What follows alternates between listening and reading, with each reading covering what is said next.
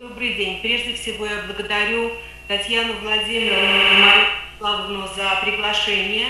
И, как мы видим, не могут помешать э, замечательной традиции э, наших встреч. Э, Мария относится к жанровым особенностям хорошо известного цикла Вячеслава Иванова «Петровская, Петровская Наки», посвященного Юргису Казимировичу и Марии Ивановне Балтрушевец. А, нам хорошо известно, что жанр литературного портрета был широко востребован в литературе Серебряного века. Достаточно упомянуть имена Андрея Белого, Ильи Подосевича, Юрия Терапиана. Столь же распространен был и жанр поэтического портрета или поэтического послания, часто с элементами портрета.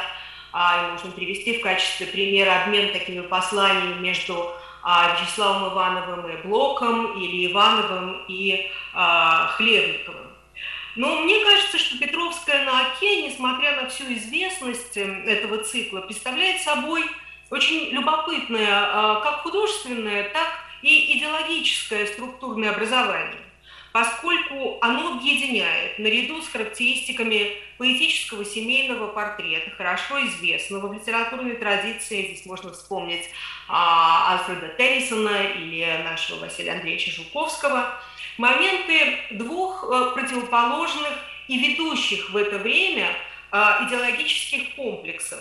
С одной стороны, это а, идея панславизма, актуализированная германской опасностью – и с другой идея христианского универсализма, экуменизма, востребованная Ивановым как раз в это время и далее очень э, доминантной э, в его, его творчестве.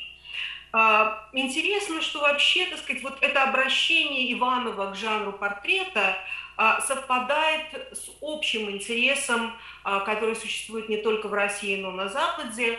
Если э, цикл «Петровская на Оке» был написан в 15 году, то надо, наверное, напомнить, что знаменитая книга Зиммеля о Рембрандте выйдет ровно через год, в 1916 году, и этот интерес – а, будет нарастать, и мы все знаем сборник, знаменитый сборник Гафн 27 а, года, как раз посвященный о портрете.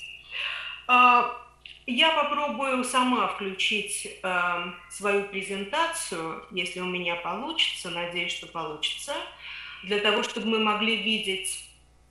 Видите ли вы тексты? Да, да, все хорошо. Замечательно.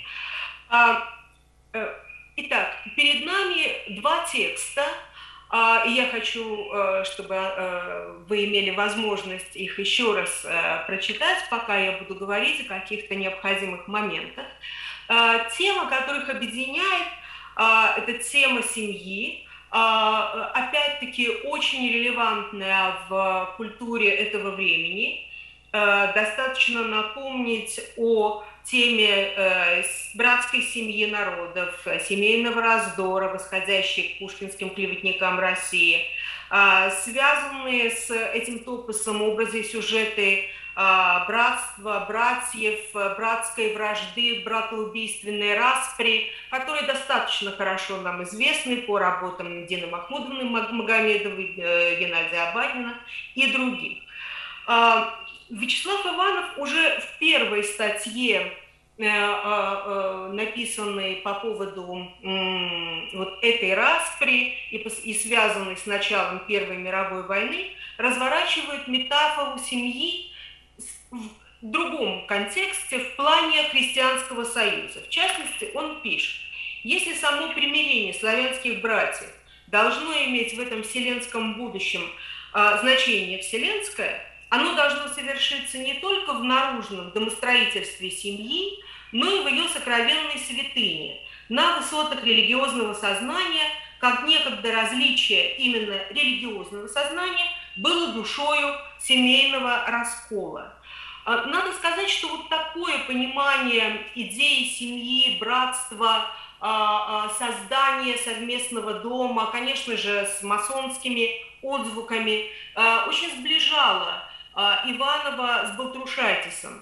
И понимание их характера, ими характера Первой мировой войны, ее исторических и религиозных последствий, в общем, тоже было сходным, и об этом писал Николай Всеволодович Катрилев в уже упомянутой здесь Йозефом Будрайтисом а, а, публикации а, переписки, вернее, э, писем а, Балтрушайтиса к Иванову. Для них обоих э, Первая мировая война имела характер религиозного сражения за истинную веру, победа в которой должна принадлежать России и славянскому миру. И об этом Иванов пишет и в других статьях, таких как «Польский миссионизм как живая сила», «Духовный лик славянского», «Славянство лик и личины России», и в последней статье он э, вслед за Достоевским провозглашает наступление царьградского периода славянской христианской истории. Эта проблематика будет все более актуальной для Иванова и найдет свое выражение а, в других его работах, и прежде всего в повести о Цветомире э, Царевича. Надо сказать, что Иванов именно во второй половине десятых годов, и особенно во время войны, Э, станет ближайшим другом Балтрушайтиса, и вот это отношение к войне и отношение к этому топусу семьи э, будет очень сближать э, Балтрушайтиса и, и Иванова. А, надо сказать, что действительно военные письма Балтрушайтиса к Иванову – это редчайший пример а, как совершенно верно э, указывает а, Николай Всеволодович Петрелев, а, в эпистолярном наследии Балтрушайтиса писем настолько лирически взволнованных и открытых к собеседнику, что я позволю себе процитировать отсюда маленький кусочек. Письмо от 16 июля 2015 года. Да, Вячеслав, судьбы времени решаются и подчиненные условно. Еще снится, что Дарданеллы падут в трехдневный срок между 6 и 11 августа. Велик Бог смиренных и правых, и уже пора считать светлые часы. И далее. А, я переживаю пору общих раздумий, мысли в ритме и размере лесного шума, и точно все оси мира проходят через мое хрупкое сердце. Может быть, мне не дано разрешить доступную нам частицу тайны, но мне дано ощутиться и знать, что она есть. Я хочу быть только струной отзывчивой и чуждой сна, а кто смычок, ты знаешь, сам братски обнимаю. А, и этот текст, конечно же, параллелен тем стихам, которые Балтрушайтис пишет а, в это же время, а, также проникнутых масонской символикой. «Идите, плотники Христовы, совершая кротко подвиг новый, тесать с молитвой горный лук, чтобы рос в лазурь за срубом сруб, издание света скоро, скоро, дыханием русского простора воздвигнет свой надежный кров на счастье всех его сынов.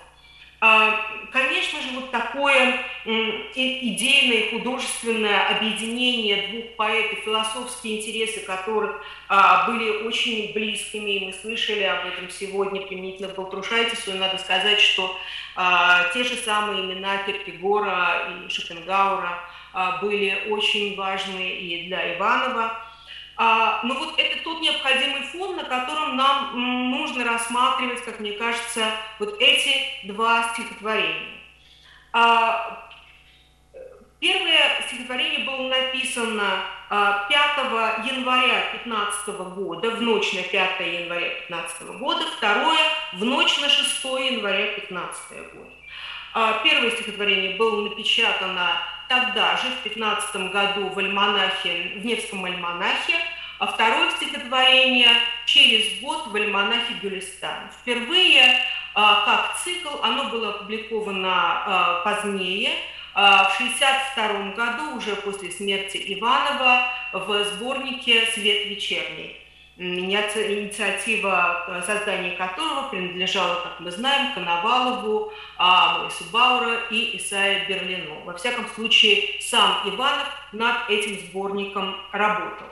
Что же означают вот эти два дня, в которые эм, Иванов создает э, посвященную, посвященный Балтрушайтисом цикл?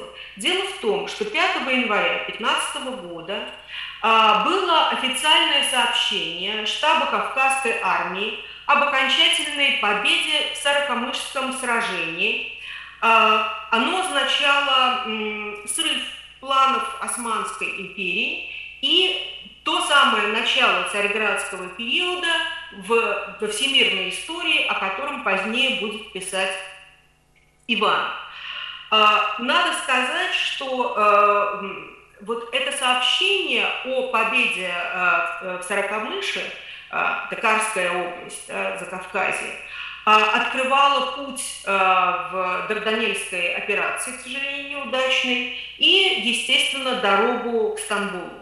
А, поэтому создание двух текстов – а, посвященных Балтрушайтису на фоне этого события, конечно же, в высшей степени символично.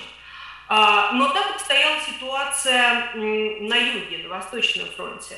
На Западном фронте а, дела шли гораздо хуже, в частности в Бельгии, и мы прекрасно знаем, какие тяжелые бои были в Бельгии. Мы знаем о сооружении так называемого железного занавеса, заборов колючей проволоки и э, сопротивление э, Бельгии э, вторжению э, Германии. Поэтому перед нами текст, который так или иначе связан с ситуацией на двух фронтах. То, что может показаться здесь с первого взгляда, может быть, не очень понятным, а, это упомянутый Ванейковский чепец. А, я сразу же его покажу.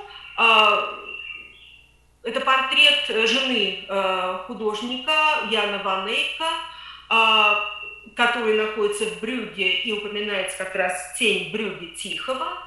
Этот чепец был очень популярен как раз в этот период времени в Европе. И э, в России он э, известен под названием плата или апостольника, если речь идет о монахинях. А, поэтому такое совмещение, с одной стороны, русской традиции, с другой стороны, западной традиции, также характерно для Вячеслава Иванова.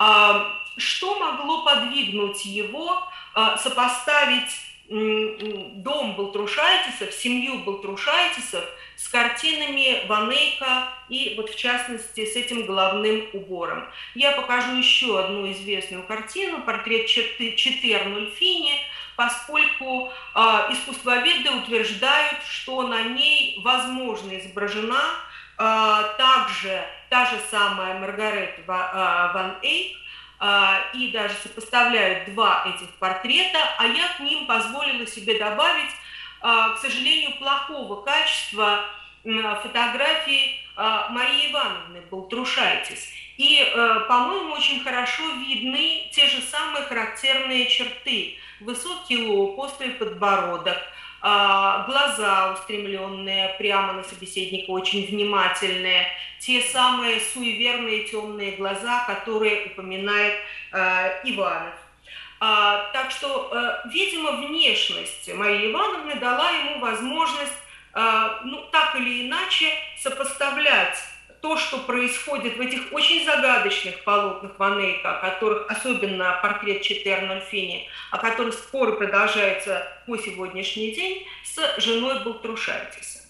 Если мы посмотрим с вами на первый текст, а, то мне кажется, что стоит обратить внимание на его начало. Забудуль, забудуль в роковые дни – а, вот это, это начало забудуль, а, условная конструкция, а, достаточно популярна в, а, применительно к жанру русского романса. А, например, знаменитый роман с 1829 года на стихи Сергея Григорьевича Голицына, музыку написал Глинки. «Забуду ли я волшебство слов твоих», или э, стихотворение Николая Языкова «Забуду ли вас когда-нибудь, я вами созданный», или с другой стороны, а, и совершенно другого, в другом контексте, уже не романс, стихотворение Рылеева «Я ли буду в роковое время позорить гражданина сам», во всех этих текстах условная конструкция обязательно предполагает а, некий обед. А в случае Голицына и Глинки, чтобы за тебя я пал в пою сраженный. А в случае Языкова мне первые, песни первые внушили, мне светлые э, указали путь, и сердце биться научили. Ну и такая же ситуация с, обстоит, конечно же, и с текстом Рылеева. А, есть, правда, и другой текст, уже не романсного и не гражданского плана. Это псалом на реках Вавилонских, а, с его а, знаменитым э, «Забуду ли тебя, э, Иерусалим». А, и возможно, что вот объединение всех этих начал, э, романсного, медитативного, гражданского и контекста священного текста, так или иначе заставило Иванова начать это стихотворение таким образом.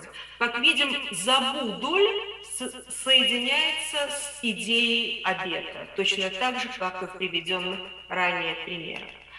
Теперь возникает вопрос, а о чем именно идет речь, когда э, постулируется момент э, забывания, отсутствия памяти в этом тексте. «Забудуль гостеприимные огни», а гостеприимные огни, конечно же, напоминают нам о вечерних огнях фетовских, но еще более они в контексте ван-эйковских картин напоминают нам об этой знаменитой люстре а, в а, портрете Читы Арнольфини. Люстра с одной горящей свечой, которая символизирует присутствие Христа, а, рядом с молодой а, парой.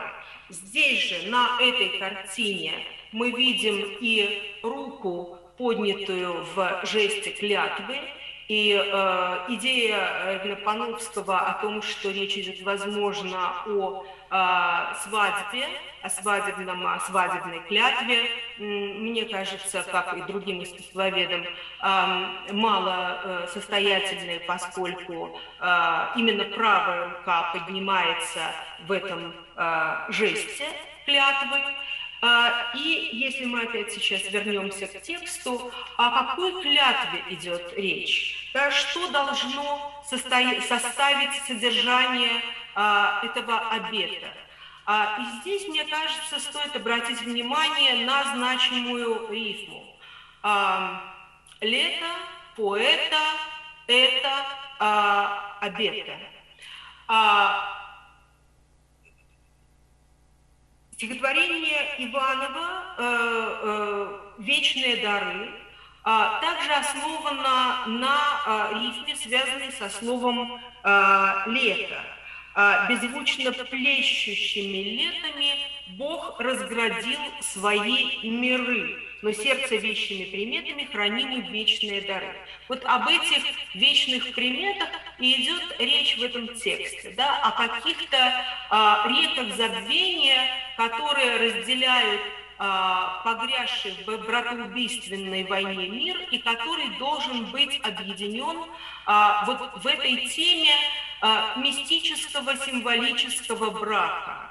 А, отсюда и обед а, спасенных на одном челне, челне, поскольку в том же самом стихотворении «Вечные дары» упоминается шиллеровско-жуковский чел на котором должна прибыть любовь, как в стихотворении Гайны Нахтыши Фарт, переведенном Соловьевым под названием а, «Ночное плавание». А, любовь, объединяющая этот дом, а, любовь, зажигающая свечи, должна его оберегать от апокалиптической вселенской грозы, поскольку это просто-таки непосредственная цитата из «Апокалипсиса. Вселенская гроза семью громами издалече» заговорила. И, конечно же, нужно обносить дом образами, а, противопоставляя память а, от православ... фольклорной православной традиции а, вот этому нашествию немецкому, германскому, которое грозит уничтожить здесь все на свете. Если мы обратимся э, к... Да, э, мне кажется, что стоит обратиться э, к этой картине, портрет Четы Арнольфини, еще раз – а, поскольку речь идет не только о чите Балтрушайтиса, не только о Юргисе и а, Марии Ивановне, но э, здесь присутствует слово «мы». Мы вместе зажигали свечи.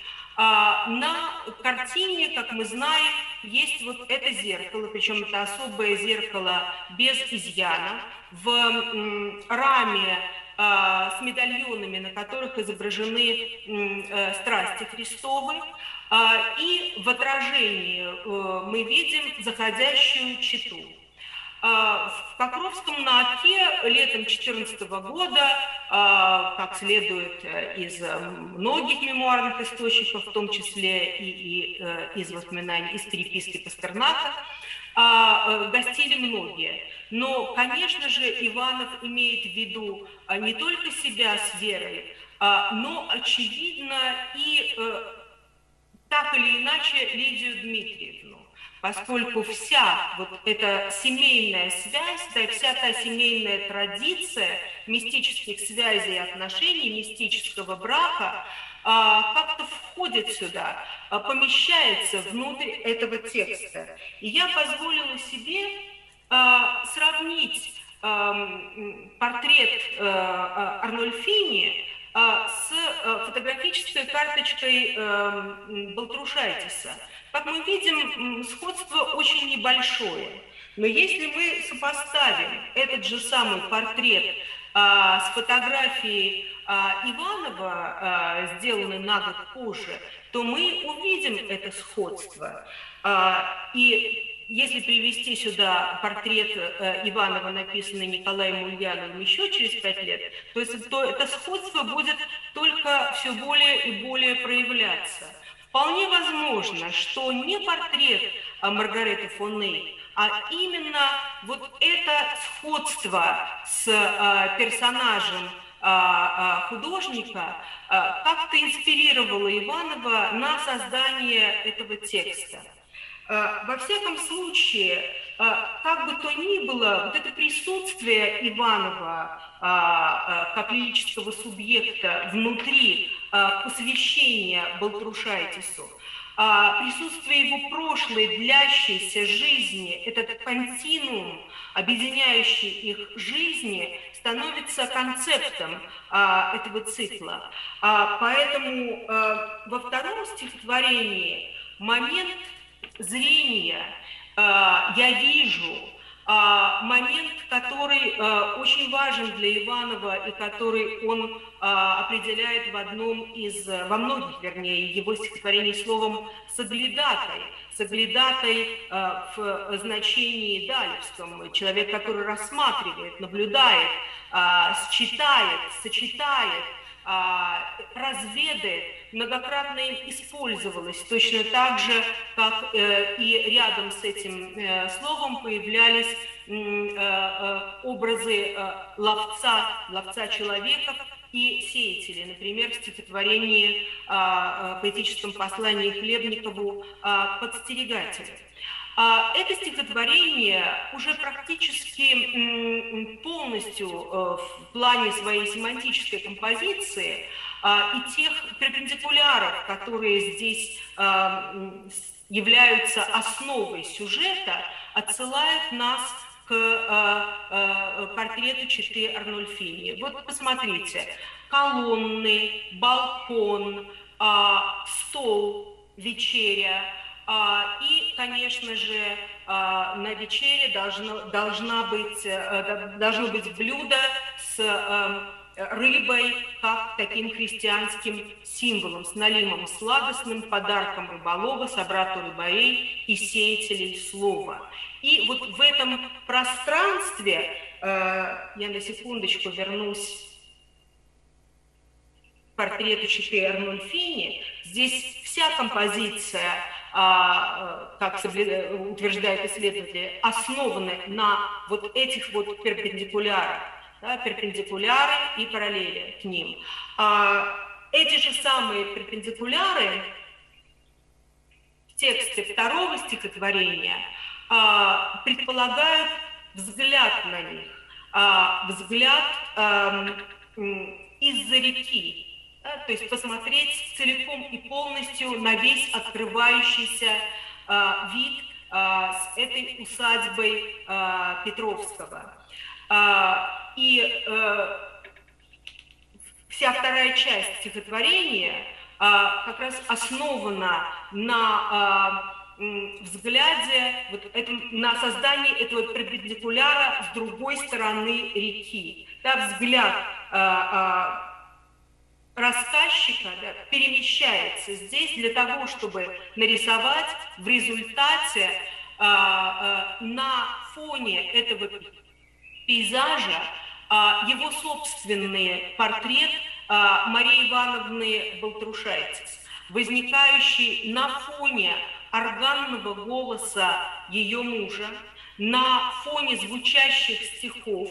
А, и э, она возникает здесь э, одновременно, э, как эм, возможно, да, еще одна, на одной из картин Ванейка «Мадонна» канцлера Ролена возникает образ а, Богоматери на фоне этих же самых колонн, и мы видим здесь Э, человека в красном тюрбане самого художника. Но, конечно же, Иванов создает еще параллельно и образ иконы «Неугасимый цвет», а, упоминанием а, красной бузины, зелени дубов, на фоне которой возникает вот как раз портрет Марии Ивановны Балтрушайтис. Таким образом, мы видим как в этом цикле э, Иванов создает такой континуум, о котором я уже сказала, да, продолжительности длящегося момента а, не просто семейного не, не просто в семейном портрете, но длящегося момента аллегории вот этого мистического брака их союза и церкви проекции, различные проекции этого брака, как на семью Балтрушайтиса, так и на семью Иванова. И э, если бы было время, можно было еще, наверное, э, задуматься о неизменности этого состояния, э, поскольку э, Шопенгауэр утверждает, что изменение в, э, положения в пространстве изменяет э, самого человека да, изменяет индивидуума и тех, кто окружает их.